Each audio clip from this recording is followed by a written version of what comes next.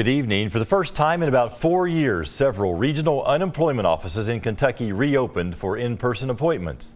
This comes as thousands have reported issues with getting in touch with someone to help them with their claims. But as Chad Hedrick shows us, new details from a recent report allege that some who were tasked with handling unemployment claims early on in the pandemic were actually processing their own fraudulent claims. He breaks it all down first on Fox.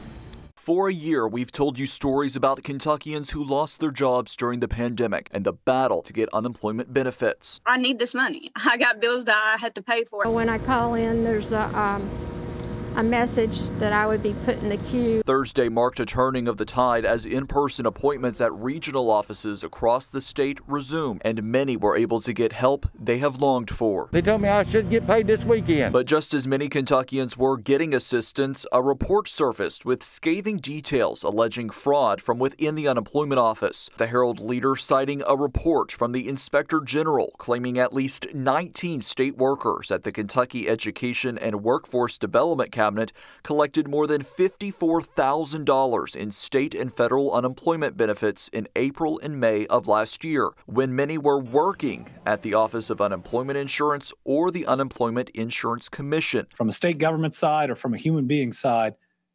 unacceptable. And that's why we wanted the independent report.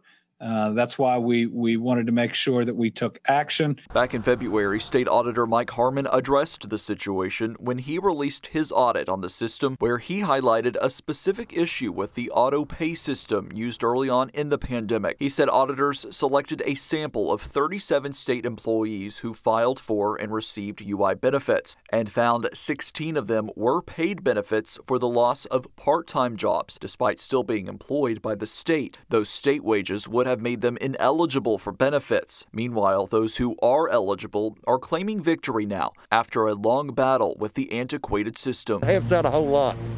Getting to talk to somebody face to face. In the coming weeks, thousands more Kentuckians will get answers and hopefully some resolve on their actual claims as the state works to address security and fraud that's plagued the system during the pandemic. In Frankfort, Chad Hedrick for the Fox 56 10 o'clock news. We asked the governor if any of these employees could face charges for the allegations. He says that's up to a prosecutor who takes on the case. He added there have been some inquiries, but he would not speculate on what charges those could be.